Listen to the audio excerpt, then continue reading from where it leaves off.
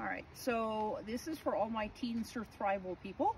We're going to talk about frustration tolerance today. This is Red Girl, and Red Girl's in for rehoming, so just keep that in mind when you think how fabulous she is. Good girl. And we're about to let the chickens out, and she's a bird dog, and this is really, really, really hard for her.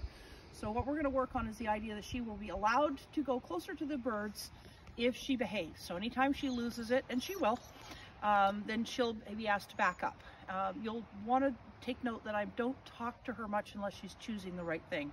So for those of you who've played It's Your Choice with treats, yes, get it.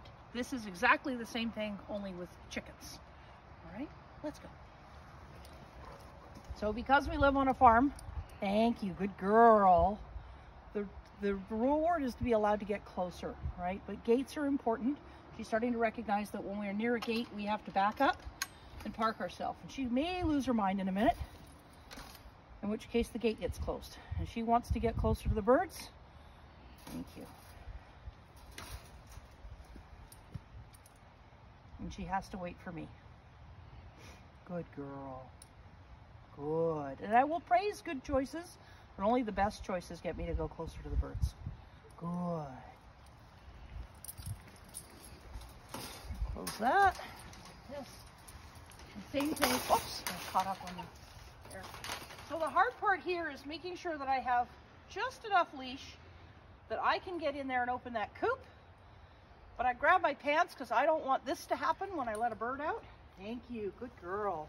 And she's learning really, really quickly that being still and backing up is how you get me to open that door which is, if she gets adopted by someone in the hunting world, is going to be very valuable.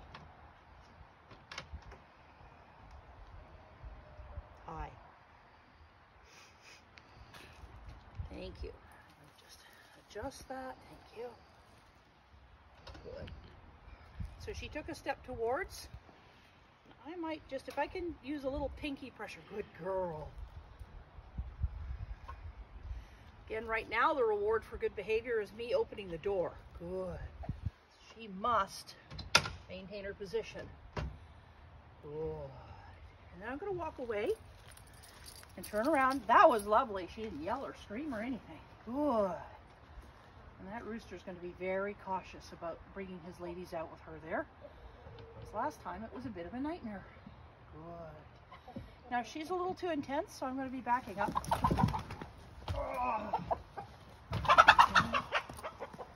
Thank you. Good. Good girl.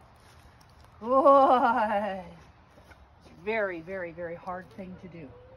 But again, if she ends up being a field dog, she has to be able to be steady to wing and shot. People think that the thing with gun dogs is they have to be good. Thank you. Good girl. Now, because she backed up, I let her go forward. Because she surged forward, I made her back up again.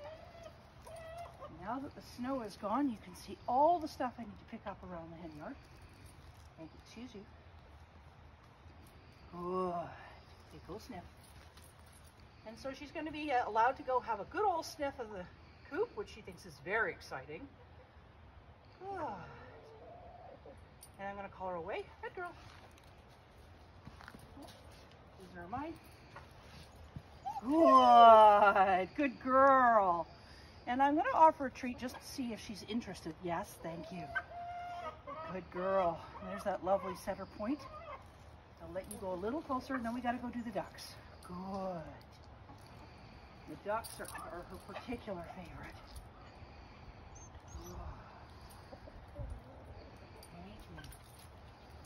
Good girl. Be careful if you're doing this with your own home flock. You have to have a rooster that trusts you to protect the girls. He's a very nice rooster. I don't know if that means he's useless. And he has shown no inclination to go after our dogs. Good. He's young yet. Good. And I'm going to turn and walk away and see if we can get that. Good girl. Excuse you. You're in my way. Thank you. Red girl. Oh, that was hard. Yeah, that was hard. Thank you. Good girl. So I don't in any way trust her with the birds. But we're starting to have a contract. She wants the birds, and I want her to behave, and I will allow her to look at birds and focus on birds as long as when I ask, she comes away. Good girl, let's go. And that's it for that one.